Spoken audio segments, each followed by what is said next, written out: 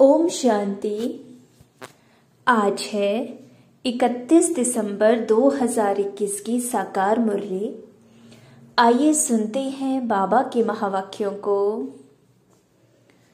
मीठे बच्चे, सदा सुखी रहो। जितना याद करेंगे, उतना सुख मिलेगा। यही बाप तुम बच्चों को आशीर्वाद देते हैं। प्रश्न संगम युग पर तुम बच्चे ऐसा कौन सा शुभ कार्य करते हो जो सारे कल्प में नहीं होता? उत्तर, पवित्र बनना और बनाना सबसे शुभ कार्य है। पवित्र बनने से तुम पवित्र दुनिया के मालिक बन जाते हो। पवित्र बनने की युक्ति बाप ने बताई है कि मीठे बच्चे, तुम मुझे लव से याद करो देही अभिमानी बनो, ऐसी युक्ति सबको सुनाते रहो। गीत, किसने यह सब खेल रचाया? ओम शांति। शिव बाबा बैठ करके अपने बच्चों को, साली सालीग्रामों को समझाते हैं। शिव बाबा को तो सब जानते ही हैं। यह भी जानते हैं कि शिव बाबा को अपना शरीर नहीं है। शिव की प्रतिमा तो एक ही है, इसमें कोई फ़र्क नहीं आता। उनको दिखाते ही है लिंग के समान। जैसे मनुष्य हैं तो मनुष्य में कोई फ़र्क नहीं पड़ सकता। आँख, नाक, कान सबको दो हैं। आत्मा कोई छिपी हुई चीज़ नहीं है। जैसे मनुष्यों की देवताओं की पूजा होती है, वैसे आत्माओं और परमात्मा की भी पूजा होती है। शिव के मंदिर में जाओ तो ढेर छोटे छोटे सालिग्राम रखे हुए हैं, जिनकी पूजा होती है। मनुष्यों की दो प्रकार की पूजा होती है एक तो विकारियों की, दूसरी निर्विकारियों की। उसको कहा जाता है भूत पूजा, क्योंकि यहाँ तो शरीर कोई का भी पवित्र है नहीं। पाँच तत्वों का बना हुआ है, मिट्टी का बना हुआ पुतला है। मूर्तियाँ बनाते हैं तो भी मिट्टी और पानी मिलाते हैं। फिर उसको सुखाने के लिए धूप चाहिए। धूप भी आग का अंश है। आगे धूप से आग जलाते थे तो बच्चों को यह पता है कि निराकार की भी पूजा होती है, साकार देवताओं की भी होती है तो मनुष्यों की भी पूजा होती है। देवता है पवित्र, यहाँ अपवित्र हैं, बाकी पूजा तो भूतों, पाँच तत्वों की ही होती है। आत्मा क्या चीज़ है, यह मनुष्य नहीं जानते। कहा जाता है रियलाइज़ योर सेल्फ आत्मा को रियलाइज़ करो। आत्मा है बिंदी समान। कईयों ने साक्षात्कार भी किया है। वर्णन करते हैं। छोटी सी लाइट उनसे निकल हमारे में प्रवेश हो गई। अच्छा इससे फ़ायदा तो कुछ भी नहीं हुआ। नारद और मीरा भक्ति में तीखे गाए जाते हैं। भल साक्षात्कार होते हैं, परंतु सीढ़ी उतरनी होती है ना? फ़ायदा अल्पकाल के लिए होता है। अभी तुम बच्चे आत्म अभिमानी बने हो, जानते हो आगे हम देह अभिमानी थे, अब यह है नई बातें। आत्मा पढ़ रही है, यह तो एकदम पक्का कर देना चाहिए, बाबा हमको पढ़ाते हैं, यह तो पहला पक्का निश्चय हो जाए। आत्म अभिमानी बनना है। आधा कल्प आत्म अभिमानी बनते हैं, फिर आधा कल्प देह अभिमानी बनते हैं। सत्युग में आत्मा को यह शुद्ध अभिमान नहीं है कि हम परमात्मा को जानते हैं। शुद्ध अभिमान और अशुद्ध अभिमान होता है ना? कर्तव्य भी शुभ और अशुभ होते हैं। कहा जाता है, शुभ कार्य में देरी नहीं करनी चाहिए। बाप कहते हैं, मैं तुमको कितना अच्छा बनाता हूँ। तुम पवित्र बनो तो पवित्र दुनिया का मालिक बनोगे। इन जैसा शुभ कार्य कोई हो नहीं सकता। तुम पावन थे, अब घड़ी घड़ी बाप कहते हैं, देही अभिमानी बनो। अपने को आत्मा समझ बाप से पूरा लव रखना है। आत्मा का संबंध ही एक बाप से है, वह बैठ पढ़ाते हैं, यह प्रैक्टिकल अनुभव की बात है। बेहद के बाप से हम बेहद स्वर्ग का वर्षा ले रहे हैं, बाप भी कहते हैं, हे मीठे मीठे बच्चों, आत्माओं को कहते हैं, आत्मा इन कानों से सुनती है, तुम समझते हो आज हमको कौन मीठे मीठे बच्चे कह रहे हैं मीठे मीठे बच्चे बाप का बच्चों पर लव रहता है ना? बहुत खुशी से बच्चों की पालना करते हैं। यह भी बच्चों का बेहद का बाप है। आत्मा कहती है, हम शरीर के ऑर्गन्स द्वारा सुनाता हूँ। अज्ञान काल में बाप बच्चों को कितना लव करते हैं। जानते हैं यह वारिस है। इन्हों को हम लायक बनाता हूँ, जिससे बहुत सुखी बने। अच्छा वर्षा पाए। कहते हैं ना, बच्चे जीते रहो, सुखी बनो, आशीर्वाद निकलती रहेगी। बच्चा सदैव सुखी हो, परंतु वह तो सदा सुखी हो न सके। तुम बच्चे जानते हो, बाबा हमको आशीर्वाद दे रहे हैं। सदा सुखी रहो, मुझे याद करो। बाप कितना प्यार, प्रेम, नम्रता से बैठ समझाते हैं। बाप बच्चों का सर्वेंट है ना? कितने बच्चों की चाकरी करनी होती है? माँ मर जाती है तो बाप को सब कुछ बच्चों का करना पड़ता है। यह बाप कितना बच्चों को प्यार से समझाते हैं। अपने पैरों पर खड़ा होना है। हे आत्मा, तुमको बाप से वर्षा लेना है। देह का भान छोड़ अपने को आत्मा समझो। यह बड़ा भारी सबक है। बच्चे घड़ी घड़ी भूल जाते हैं। कहते हैं, बाबा को याद करना भूल जाते हैं। याद अक्षर बड़ा सहज है। योग व निष्ठा आदि यह शास्त्रों के अक्षर हैं। बाप कितना सहज बतलाते हैं, सिर्फ़ याद करो। बाप को देखने से बड़ी खुशी होनी चाहिए। हमारे जैसा बाबा दुनिया में किसी को नहीं मिलता। तुम जानते हो, हम आत्मा पतित बनी थी, अब बाप पावन बनाते हैं। इसलिए पुकारते भी हैं, हे पतित पावन, आओ, आकर पावन बनाओ। बाप को याद करने के सिवाय और कोई तकलीफ़ नहीं देते हैं। इसका नाम ही है सहज याद, सहज ज्ञान। यह भी बच्चे समझ गए हैं। बाप सत है चैतन्य है। उनकी आत्मा ज्ञान का सागर है। ज्ञान की अथॉरिटी है। यहाँ मनुष्यों की महिमा होती है। फलाना शास्त्रों की अथॉरिटी है। यहाँ बाप कहते हैं, मैं ही सभी वेदों शास्त्रों को जानता हूँ, अथॉरिटी हूँ। भक्ति मार्ग में चित्र भी दिखाते हैं। विष्णु की नाभि से ब्रह्मा निकला। उनको फिर शास्त्र दिए हैं।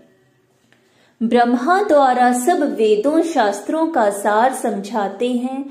बाप सभी बातें अच्छी रीति बैठ समझाते हैं। अब ब्रह्मा तो है सूक्ष्म वतन में, भगवान हो गया मूल वतन में। अब सूक्ष्म वतन में किसको ज्ञान सुनाएँगे? ज़रूर यहाँ आकर सुनाएँगे ना। यह बड़ी समझने की बातें हैं। ब्रह्मा द्वारा सब शास्त्रों का सार भगवान कहाँ सुनाएँगे? सुनाने की बात तो यहाँ होती है। अभी तुम प्रैक्टिकल में जानते हो कैसे भगवान आकर ब्रह्मा द्वारा हमें सुनाते हैं। बच्चों को तो अथाह खुशी होनी चाहिए। मनुष्य पाँच दस लाख कमाते हैं, कितना खुशी होती है। यहाँ बाप बैठ तुम्हारा खजाना भरते हैं। कहते हैं, मुझे याद करो तो तुम सोने जैसा बन जाएँगे। यह भारत सोने की चिड़िया बन जाएगा। जानते हो, बाबा, मूल वतन से आकर ब्रह्मा द्वारा हमको शास्त्रों का सार समझा रहे हैं। सब राज समझाते हैं। उस योग, तप, दान, पुण्य आदि से मुक्ति तो कोई नहीं पाता है। मनुष्य समझते हैं, इन सब रास्तों से हम मुक्ति में जाते हैं। अगर ऐसा होता तो फिर पतित पावन बाप को आने की क्या दरकार? अगर वह वापस जाने का रास्ता होता तो कोई जाते ना। दुनिया में मनुष्यों की अनेक मत हैं। अब बच्चों को बाप ने समझाया है, वापस कोई भी जा नहीं सकते। बाप कहते हैं, मैं इन द्वारा सब वेदों शास्त्रों का सार समझाता हूँ, इसने भी बहुत गुरु किए हैं, पढ़ा लिखा है। बाप कहते हैं, इन सबको भूल जाओ। पतित पावन तो परम पिता परमात्मा को ही कहेंगे। वह मनुष्य सृष्टि का बीज रूप वृक्षपति चैतन्य है। आत्माएँ सब चैतन्य हैं। तुम जानते हो, हम मूल वतन में जाकर फिर आएँगे पाठ बजाने। आधा कल्प सुख का पाठ बजाएँगे। सारा मदार पढ़ाई पर है। जितना पढ़ेंगे, उतना ऊंच पद पाएँगे। यह पढ़ाई बहुत ऊँची है। एम ऑब्जेक्ट ही है नर से नारायण। मनुष्य से देवता बनने की। जब आदि सनातन देवी देवता धर्म है, तब कोई हिंसा होती नहीं। वहाँ विकार की बात होती नहीं, न कोई लड़ाई झगड़ा होता है। अभी तुम समझाते हो कि जब अनेक धर्म हैं तो भाषाएँ भी अनेक हैं। सबकी एक भाषा हो नहीं सकती।